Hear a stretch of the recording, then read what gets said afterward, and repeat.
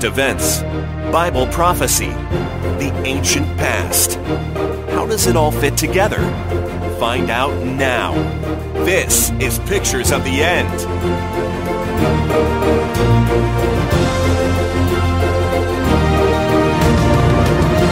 Hello, my name is Tim Rumsey, and this is Pictures of the End. Thank you for joining us today. You can find us online at www.picturesoftheend.com. You can also call us toll free at 855 447 8788. And we do have a special offer today, which we'll explain more about later. But you can call uh, us toll free once again at 855 447 8788 and request your free copy of that offer. We're going to continue today looking at the everlasting gospel as it is explained in the Bible. Revelation chapter 14 describes an angel sent from God carrying this everlasting gospel to the world just before Jesus Christ comes back. And we've been seeing that this gospel brings us peace. In fact, it is God's pathway to peace.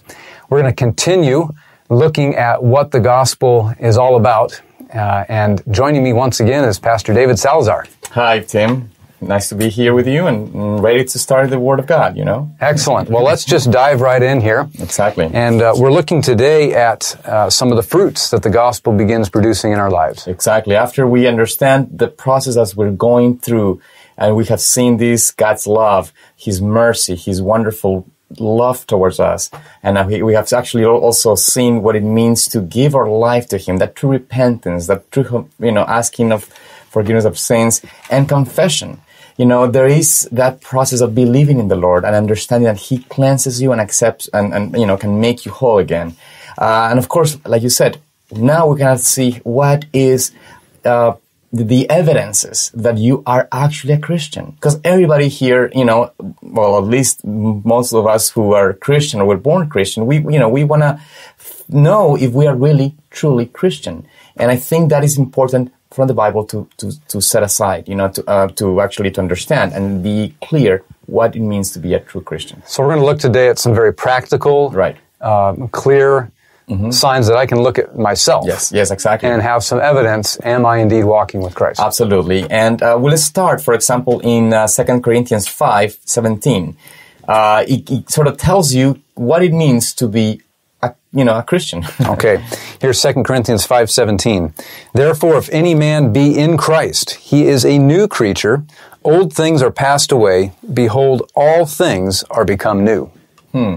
We can see here, Tim, as, as we're reading from this, this uh, wonderful word of Paul, that as a Christian, all things are new the old things, the old ways, the way you live, the way that uh, you will react, the way you will talk, the way you will live your life, if you were a Christian, things would be different, will be new. So that's the first thing, you know, that we have to understand that as a Christian, we are to be walking differently. Now, somebody may, somebody might think that um, the time for us to um, you know, to say, well, I, I was, you know, I, am a born again Christian. I accepted Christ years ago, and you know, I, I accepted the Lord. So I am a Christian. I mean, I mean, it wasn't important when I gave my life to the Lord back these all your years years ago.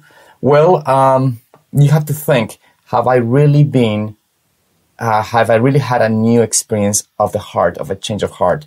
The um, the apostle, uh, I'm sorry, John, John, John told us um, in to Nicodemus. I'm sorry, uh, John spoke of Christ speaking to Nicodemus that uh, he he couldn't really pinpoint a time, but the Spirit of God talks. I mean, moves in a way like the wind.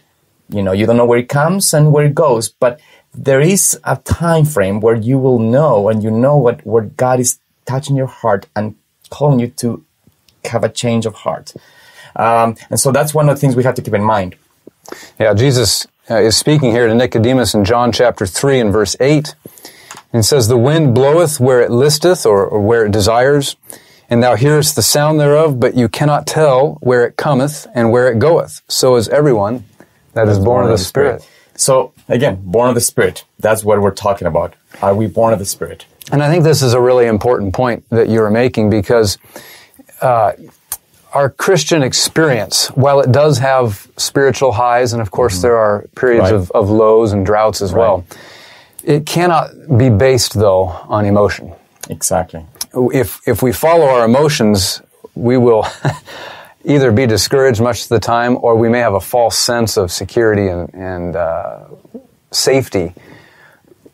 We need to rely on the Word of God and on the promises of God. That's true, Tim. And um, you know, I've I've met many people in in my own congregation sometimes where um, they have this walk with God, or they have this Christian walk. I don't know if I could call it walk with God, to be honest, but they have this Christian experience where you know, one day they feel really connected with God, you know, and they are happy and they are excited and they want to do things for the Lord. And the same week, the same, you know, month, uh, very soon after, they are, you know, in a very low state. And it's a person that is constantly going through an emotional roller coaster, you know, high and lows. But that experience of high and lows, although we cannot always deny that is maybe God is speaking to their hearts. Um, it's it's sort of a problem where it tells you that somehow you're not really giving your life to the Lord in a in a, in a in a committed way or in a in, in a continuous way and and that's why you have to be careful with your emotions emotions are not a symbol or a sign where that you are walking with the lord you know mm-hmm. it's very careful to you have to keep in mind i mean it is true and let's look at galatians 5.22 what are the the signs of walking with God? What are the, you know, the, the evidences, the outward evidences that you actually have had an experience with God? And we're going to we're to see here some very objective exactly. measures. Our emotions are not objective. Objective. They're very, very subjective. Exactly. exactly. So, but look, look, let's let's read that. Uh, Galatians 5, 22, 23. But the fruit of the Spirit is love, joy, peace, long suffering, gentleness, goodness, faith, meekness, temperance. Against such there is no law.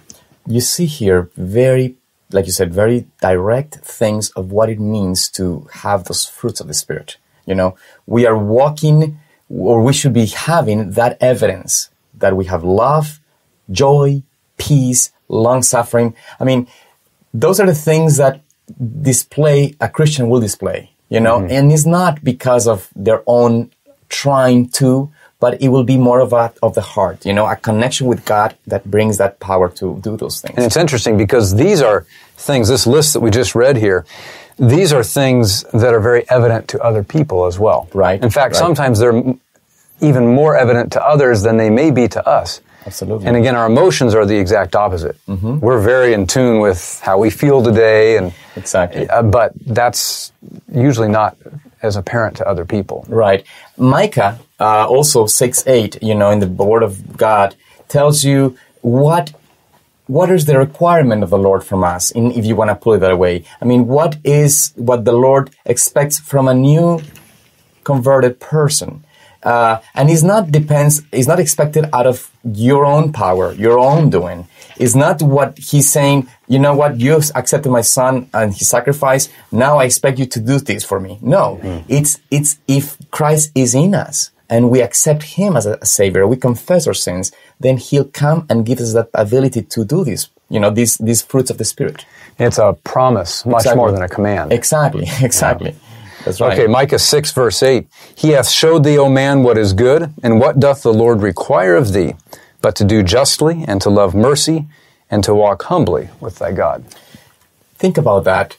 Um, one of the evidences of really walking with the Lord is to walk humbly. Mm-hmm. You know, where no pride it's in there. There's no self rising up.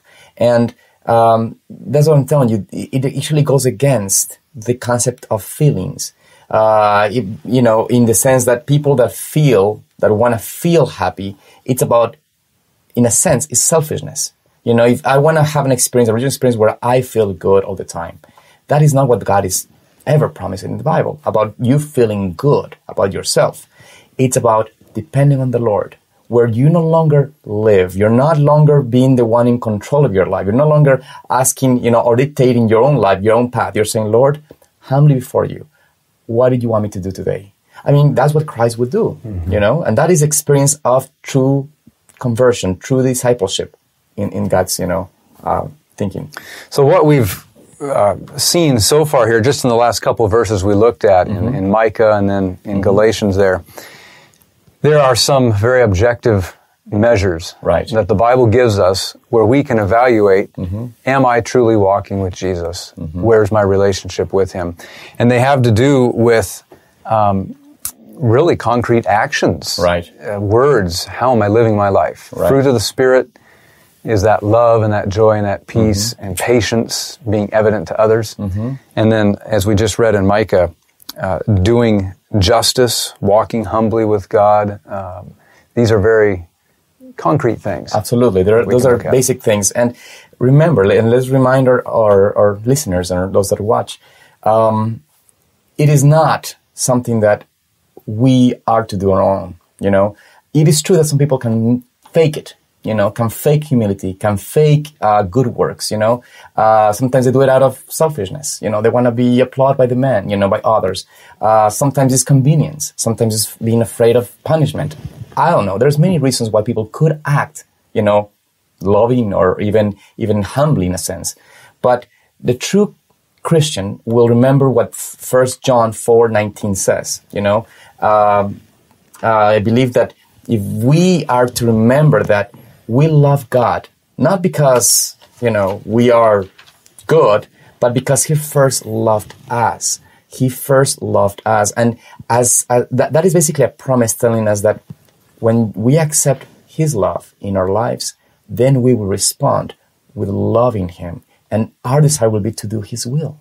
And that is the, the important part because, you know, there is a concept today that talks about that, you know, it's, you know, if I am, if I am with God, uh, I must do certain things. And you, you know, some people, some religions is that way, you know, you have to do this and that and that, and you have this huge list, and you try your, your hardest to, you know, to fulfill these requirements. But that doesn't bring you any jo- joy. It brings you, uh, it's impossible, truly, to keep them. You become burdened and heavy laden, and it's a religion that ultimately will fail. But then there's the other opposite, the other spectrum of this, of the, you know, that where people feel that, oh, God did all for me. Christ paid the price. I have no need to really obey his commandments. And that's a big mistake as well, you know. Uh, so you have to remember uh, there's a promise uh, in Hebrews 10:16 where we can go into and, and realize that God promises more about, you know, what He will do in the in the converted heart. And this is a really important verse because it really strikes at the heart Mm-hmm. of the gospel and what God intends to accomplish through it. Right. Hebrews 10, verse 16 This is the covenant that I will make with them after those days, saith the Lord. I will put my laws into their hearts, and in their minds will I write them. Imagine that. That's a covenant. It's a promise that God says, you know, I will put. It doesn't say, Tim, you'll do it your- your own. I want you to somehow, you know, put them in your heart. It's impossible for us. That's why it's the new heart experience, the new, new birth experience we have to have. I don't care, you know, how long you've been in the church. And some people think that because I was baptized 40 years, I'm already, you know, I'm a good Christian. That doesn't make any difference if you have not surrendered your will to the Lord daily, in a sense, you know? And, and that's important to keep in mind.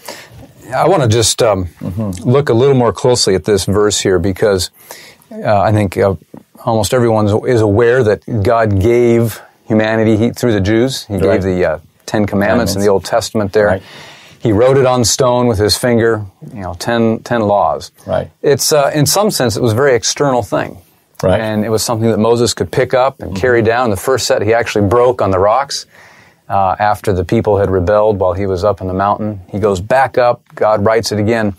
And for, for centuries, they kept th- this copy of the Ten Commandments written on stone there inside the Ark of the Covenant. Right. In, inside the middle of the most holy place. Well, let's fast forward to the time of Jesus. Jesus comes, and in the Sermon on the Mount, uh, he once again basically goes through the principles of the law of God. Right. But he doesn't remove it. He doesn't say, hey, I'm here now. You don't need to worry about any of this. he actually strengthens the claims of the law of God. Right. One example uh, is, you know, the commandment to not kill. Um, that was in the Ten Commandments, thou shalt not kill.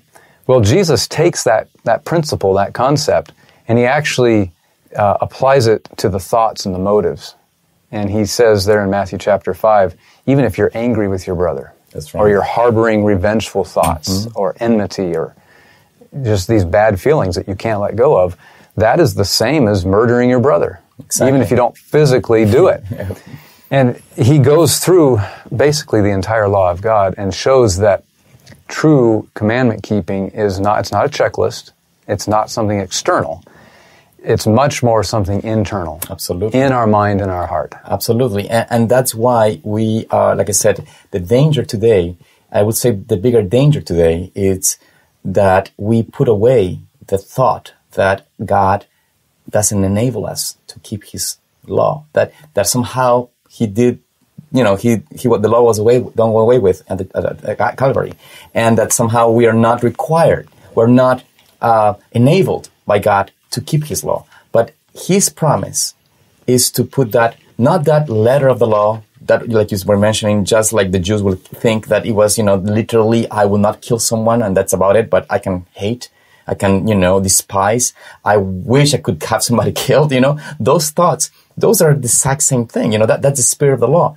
But uh, bec- because it goes against you know anything that goes against the character of god it's, it's a sin really. And, and and and that's what the god christ wanted to show them that the law of god is a transcript of god's character is to love god and love your neighbor you know There, there was really a, I don't know if I can say unspoken because Jesus was speaking this whole time, but I'll, Right. I'll say it. There was an unspoken message that Jesus was giving here, and that is that it is possible to outwardly, externally, mm-hmm. keep the law of God, the Ten Commandments, Right.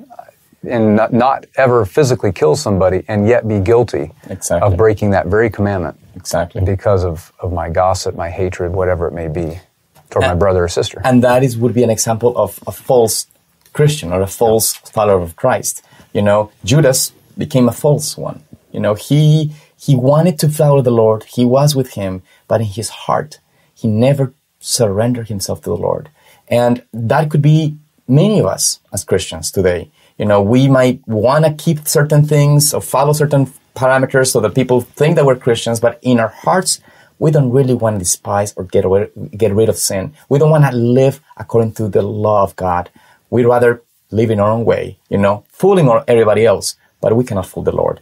And so in 1 John 5 3, you know, it, it tells you clearly there, you know, it, if you can read it for us, Tim. Yeah, great verse. Uh, 1 John 5 3 For this is the love of God, that we keep his commandments, and his commandments are not grievous. Imagine that. That's an blessing. That's a promise for us, you know. If we are in Christ, we can keep his commandments and they're not hard. They're not, you know, difficult. And the Bible actually refers to the law of God as the law of freedom. Exactly. And so often we tend to view it in the opposite sense. I suppose we as humans tend to view law, the idea of law, in a negative sense. It's a restriction on what I can't do. Right. But uh, when we look at everything that uh, true commandment keeping would prevent in our lives, uh, all of the misery and the pain and so forth, it truly is a law of freedom. I mean, you think about it. There's a verse, uh, 1 John uh, 2 4, that tells you, He that said, I know him. I mean, how many of us will say, I'm a Christian? You know, my daddy was a Christian, my grandfather was a Christian. I've been in church for many years, but think about this. 1 John 2 4 tells you, He that said, I know him, and keepeth not his commandments, is a liar, and the truth is not in him. So, if I say that I, I know the Lord, yet I am not daily walking with him in keeping also his commandments, if for me being faithful to the Lord, being faithful to my family, being faithful to my wife, being, you know, uh, loving to my neighbor, not desiring anything, you know, not, not, not wishing any ill towards anyone, if that is difficult for me, you know, and I may not do it physically, I may not actually go and kill someone or whatever, but in my heart, I have resentment, I have anger, I have bitterness, I don't care for my parents. And this is something that sometimes we don't talk about very clearly or often, but you know, many of us don't take care of our parents well enough, you know. Many of us forget about them. Many of us don't really, you know, and, and, and you're trying to understand that because it, they, you know, they may bother me. Again, that is, those are evidences that somehow I am not really living with the Lord. And I'm making, I mean, I am a liar. And that's what John is telling you. You know, it's like, look, if your life, in your heart, you are, you don't, you are, you know, holding thoughts or ideas or feelings that go against God and His Word and His law, you are not really surrendering with Him. You're not walking with Him. So you know what? Do something about it. Come to the Lord now. You know, don't you know? Don't don't think that you're gonna be okay because eventually the way of man is death.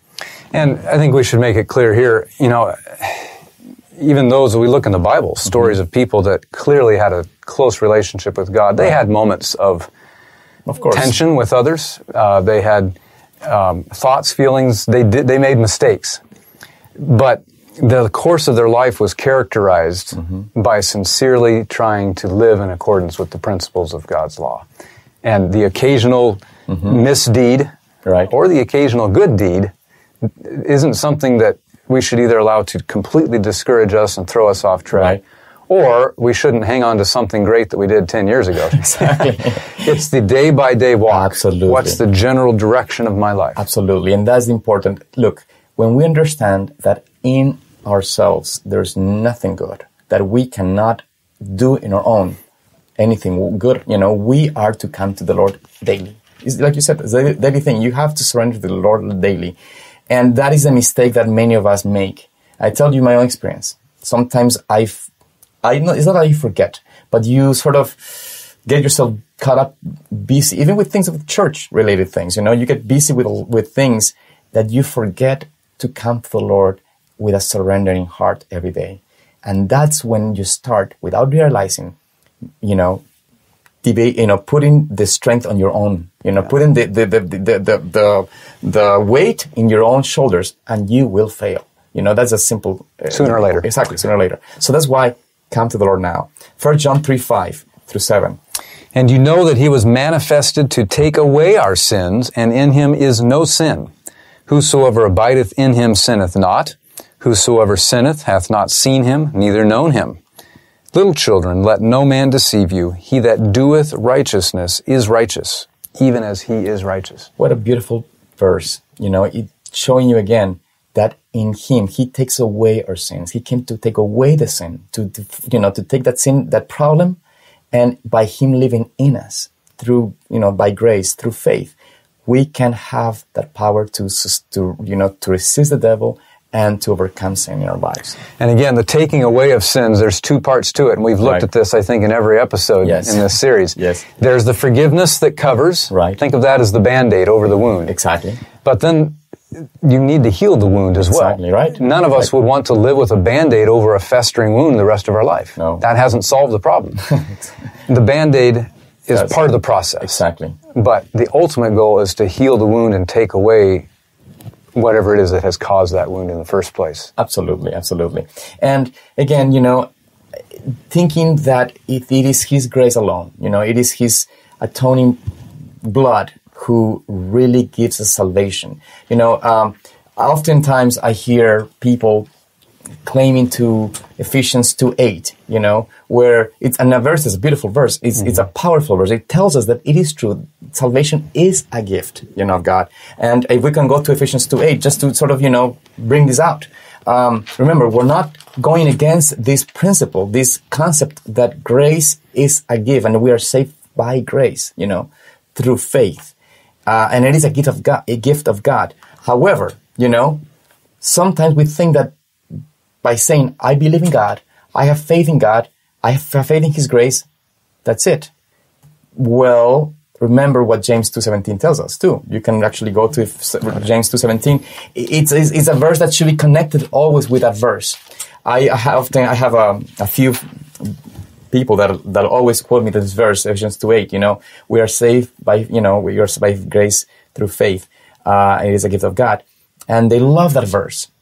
And I love that verse as well. Believe me, because it tells us that God is merciful and gave us something that we didn't deserve. We didn't, you know, we didn't earn it. There's no way you can earn salvation. It's always through grace.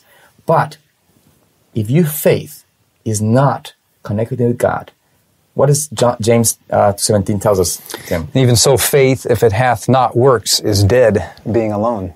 So, you know, exactly. Think, think of Noah. God told him to build an ark. What if Noah has said, I believe, I have faith, but he just sat there and didn't do it? Exactly. There is has to be, and that is why the true faith, true faith is a faith that claims God's promises and says, Lord, I'm a sinner, but I need you. Help me by grace to get rid of sin in my life, to overcome by your, by your, by your grace and your strength.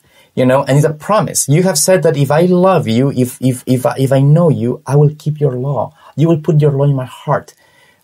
I know I cannot do it on my own, but if I believe and I confess and I come to you and I hold, you know, to you through faith, that true faith, then guess what? You'll have those fruits of the Spirit. You will have that, you know, experience. Again, it's so helpful for me to remember this is a promise much more than it is a command. Amen. Exactly. Jesus says, when I'm living in you, when you have that relationship with me, I will do this in you. Mm-hmm. And that, what a promise. Amen to that. Amen to that. We can basically finish with 1 John 2 3. And it says, And hereby we do know that we know him if we keep, keep his commandments. So may the Lord help us to know him truly, you know, to, to fall in love with Jesus, to know that with him we are able to keep his commandments and have his character in us. What a beautiful promise. Mm-hmm. Well, we do have a special offer today that we would like uh, to tell you a little bit more right now, and then we'll be back briefly after the break.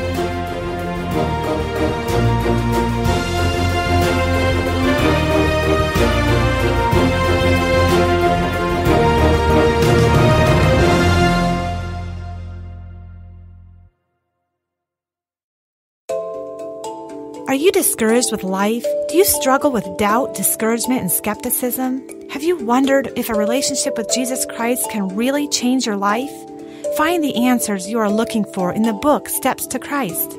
This Christian classic explains simple and practical principles for a life changing relationship with Jesus Christ. Discover the keys to true repentance, conversion, and consecration. Learn how to live in faith and grow in your knowledge of God uncover secrets for dealing with doubt, discouragement, and skepticism. To request your free copy of the book Steps to Christ, visit picturesoftheend.com or call toll free 855 His Truth. That's 855 447 8788. This offer is limited to one book per customer while supplies last. Call 855 447 8788.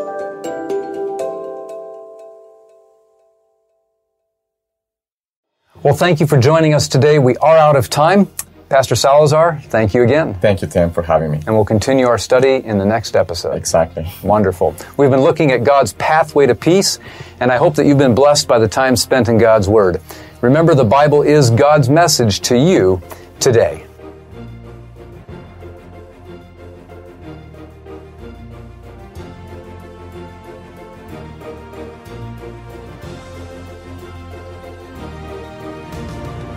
You have been listening to Pictures of the End, a production of Pathway to Paradise Ministries. Pictures of the End is available via your favorite podcast service and also at www.picturesoftheend.com.